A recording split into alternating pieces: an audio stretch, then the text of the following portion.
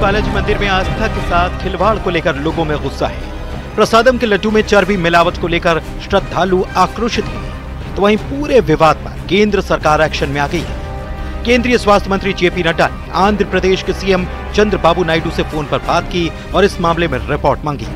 साथ ही स्वास्थ्य मंत्री ने मामले में कड़ी कार्रवाई का भरोसा भी दिया। जैसे ही ये खबर मुझे मिली, मैंने चंद्रबाबू नायडू जी से बात की। उनसे मैंने डिटेल उसकी ली है। और मैंने उनको कहा है कि आप तुरंत एक जो आपके पास अवेलेबल रिपोर्ट है वो रिपोर्ट आप मुझे भेज दें। उस रिपोर्ट को मैं एग्जामिन भी करूँगा स्टेट रेगुलेटर से भी बातचीत करूँगा उनके अ, अ, उनका क्या कहना है उसको भी जानूँगा।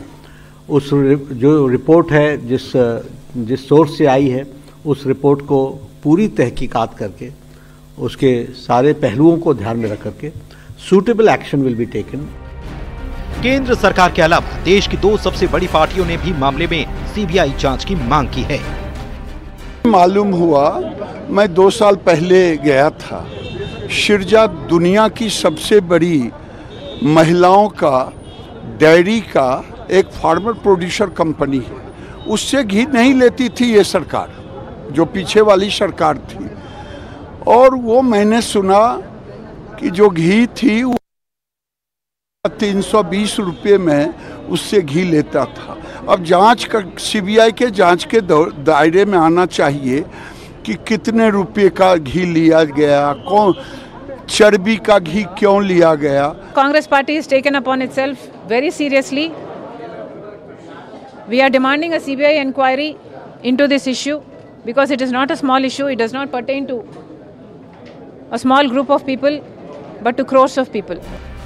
उधर साधु संतों ने भी प्रसाद में मिलावट को करोड़ों हिंदुओं की आस्था के साथ खिलवाड़ करार दिया और दोषियों पर सख्त कार्रवाई की मांग की जो भी घटनाएँ हुई हैं जैसा जाँच हुआ है उससे स्पष्ट हो गया है कि ना इसमें जो है यह चर्बी मिलाया गया है और मछली का तेल मिलाया गया है और वहाँ की जो सरकार थी उसको संज्ञान में है कि नहीं है।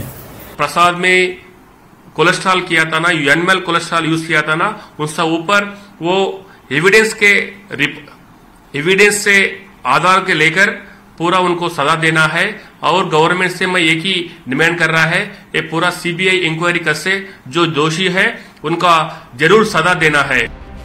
इसी बीच तिरुपति मंदिर के पूर्व पुजारी ने भी पाँच साल से मिलावटी घी का इस्तेमाल करने की बात कही। जबकि मंदिर प्रशासन ने भी माना कि पिछली सरकार में सस्ते घी का इस्तेमाल किया जा रहा था that has been going on uh, since last five years in the uh, most important ingredient uh, used in the preparation of prasadams.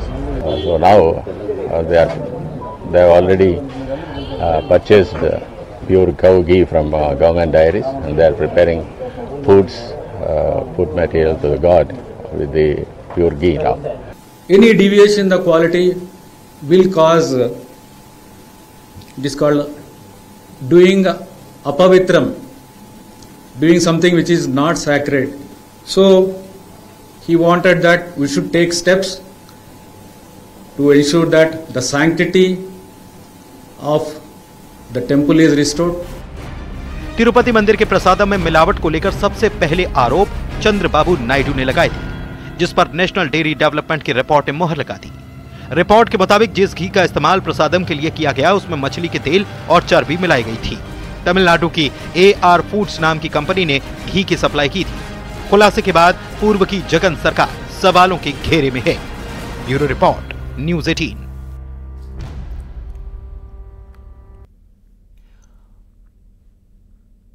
और तिरुपति बालाजी में आस्था से खिलवाड़ को लेकर गुस्सा है। आंध्र प्रदेश से भोपाल तक प्रदर्शन हो रहे हैं और कार्रवाई की मांग की जा रही है।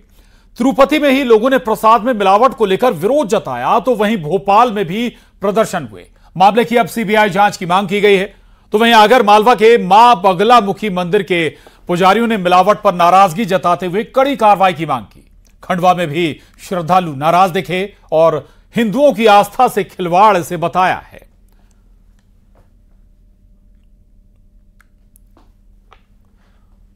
उधर लड्डू में मिलावट को लेकर बीजेपी विधायक उषा ठाकुर ने नाराज़गी जताई और मिलावट को राष्ट्रद्रोह तक करार दे दिया। पूरा लड्डू ले लो।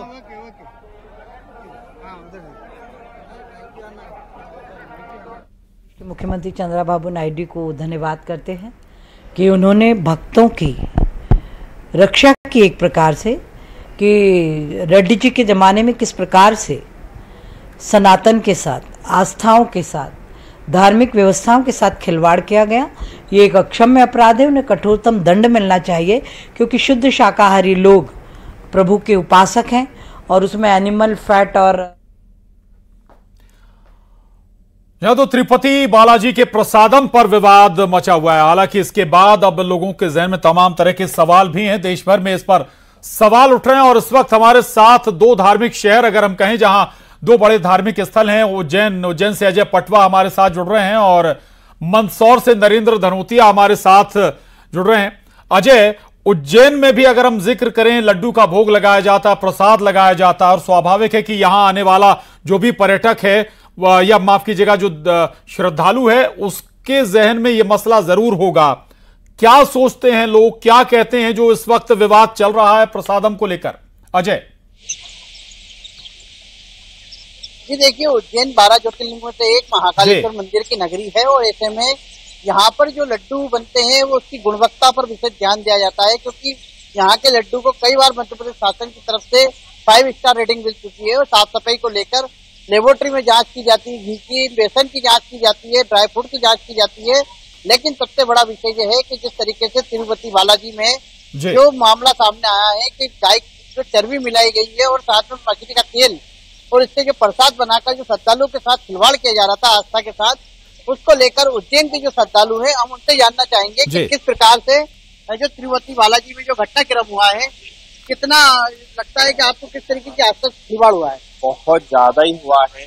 मान के लिए मेरे पहचान के लोग हर साल ही जाते हैं और हर साल प्रसाद देकर आते हैं और हम भी ग्रहण करते हैं। लेकिन अब ऐसा लग रहा है कि ये तो बहुत ज़्यादा ही अनुचित हुआ है।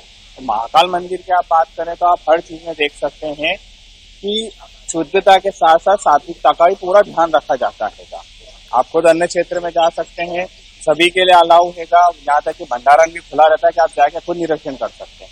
ये तो बहुत आप बताइए जिस तरीके से तिरुपति बालाजी में जो मिलावट मिली है उसको लेकर कितना बड़ा खिलवाड़ है? हिंदू धर्म के साथ भी बहुत बड़ा खिलवाड़ है। हमारे यहाँ भगवान महाकालेश्वर मंदिर में लड्डू और प्रसाद जो अन्य क्षेत्र है वहाँ तीन तीन चार चार अवार्ड मिल गए। वो जो दोषी लोग हैं उनके ऊपर हमारा मांग है कि उनके ऊपर सख्त कार्रवाई होना चाहिए। आप बताइए राही जी किस तरीके से जो तिरुपति बालाजी में जो खिलवाड़ हुआ है आस्था के साथ और उज्जैन में जो लड्डू मिलते हैं उसमें क्या अंतर है दोनों? उज्जैन और तिरुपति बालाजी में ज़मीन ज़मीन आसमान का अंतर दिखाई दे रहा है। वहाँ पर हाल फ़िलहाल ये सुनने में आया है कि ब्रीफ चमड़ी और मछली फ़िश ऑयल मिलाया जा रहा है।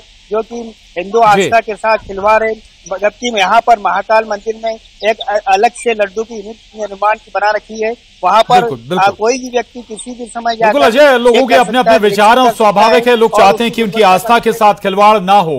नरेंद्र धनोतिया मंदसौर से हमारे साथ बने हुए नरेंद्र मंदसौर में खुद पशुपतिनाथ विराजते हैं। आस्था की नगरी है। क्या मानना है लोगों का? क्या कहते हैं इस विवाद पर? देखिए जब से तिरुपति का मामला सामने आया है जो सबसे बड़ा धार्मिक धार्मिक आस्था का केंद्र है जहाँ पर पूरे देश नहीं पूरी दुनिया से लोग आते हैं और वहाँ का प्रसादम ग्रहण करते हैं।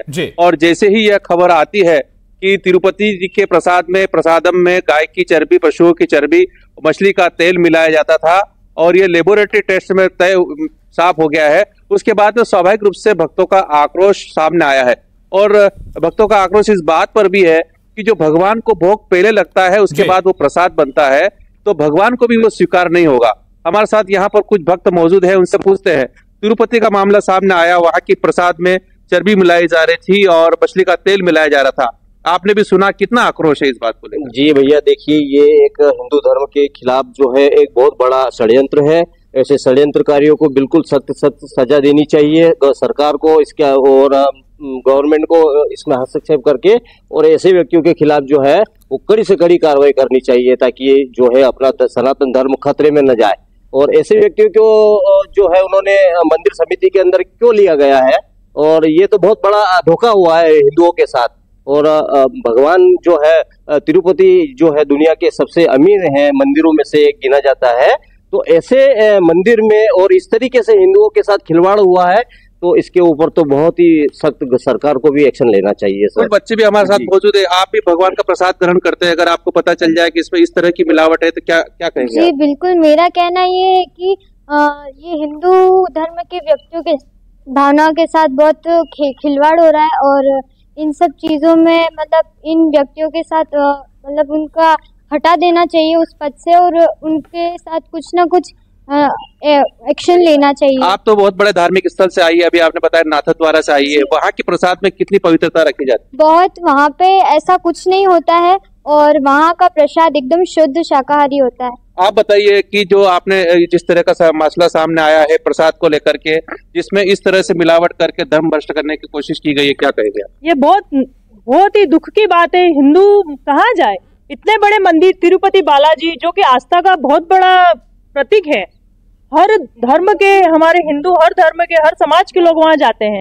और वहाँ देखा जाता है कि इस प्रकार से तो बड़ा मतलब आक्रोश है।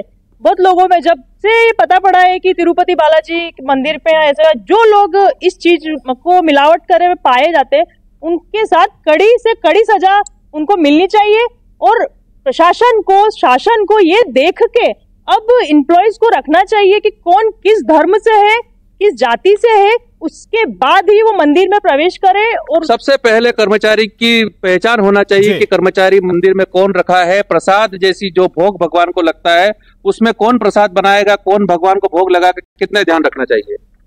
प्रशासन को भी ध्यान रखना चाहिए और मंदिर मंडल वालों को भी ध्यान रखना चाहिए कि शुद्ध और शाकाहारी प्रसाद बने बिल्कुल ज़िम्मेदारी है तो इसमें अगर जो मंदिर प्रबंधन